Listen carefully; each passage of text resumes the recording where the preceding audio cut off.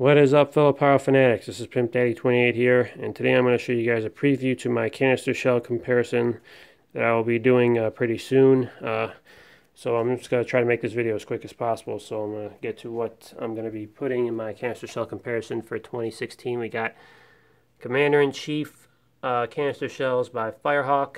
You get 24 in a kit. Uh, the Excalibur canister shell kit by uh, World Class. Um, 2016 version. Got Exterminator by the Phantom brand, 18 shells in a kit. Um, Echo in the Ear by Winda. Nukem uh, canister shells by Firehawk. These are 1.5 inch canister shells. They're not they're like your regular 60 gram canister shells. You get 18 in a box. And I believe these are also a new item for 2016. We got Swamp Blasters by Duck Commander. You get 16 in each kit. Uh, I believe these were sold by Phantom. Um, you got Black Mamba shells by, I believe it's Winco Fireworks. I'm not 100% positive on that. Uh, you get 20 in a kit. Um, and for the final one, you got Electric Rain. These are leftovers.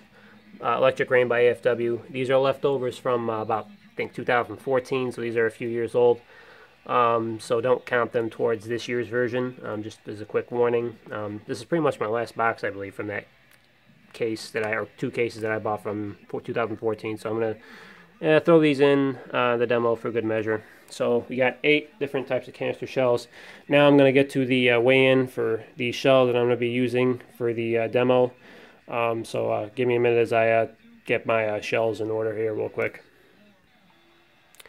Okay, so I got all these shells out of the uh, each of the canister sh uh, shell kits. I took two of each. Um, I'm hoping I could get one brocade shell from each kit, and then maybe for the second shell, it's kind of like uh, either another brocade shell or just a different shell that's unique to the shell kit. So uh, to get to the weigh-in here uh, real quickly, we'll start with uh, the Nukem canister shells.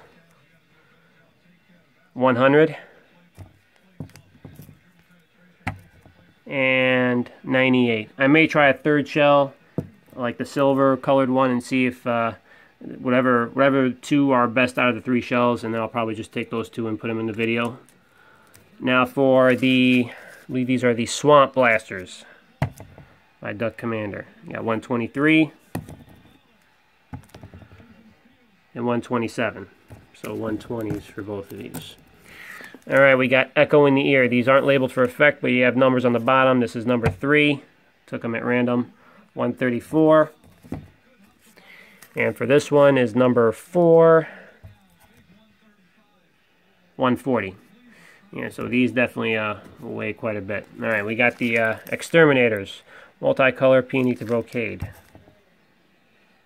135. Uh, brocade Silver to Yellow. 130. And I forgot to name the effects of uh, the the uh, Duck uh, Commander, or Swamp Blaster, sorry. Uh, this is Brocade with red glitter. And the second one is Turquoise Red with Crackling Flower. And the Nukem shells aren't labeled for effect, so I guess we'll just move on here. Okay, we got these uh, Commander-in-Chief, no label for effect by Firehawk. And these weigh, well, for the first one, it's 139 for the second one. 137. Alright, getting to the X-Cows. These are probably going to be mislabeled, so I just took ones at random here. I got one with brocade and a brocade crown with white glitter. I'm pretty sure it's mislabeled. Anyways, getting to the effect, we got 140. This one weighs a lot. We got red palm and green glitter. 136. So these definitely weigh quite a bit. And we got uh, Black Mamba shells. These surprisingly weigh pretty light. Uh, Brocade Crown to red, 95. For the second one here, we got green glitter with red leaves, 93. So these weigh in the 90s. I'm pretty sure these electric rains here are going to be weighing the same. Electric Rain by AFW.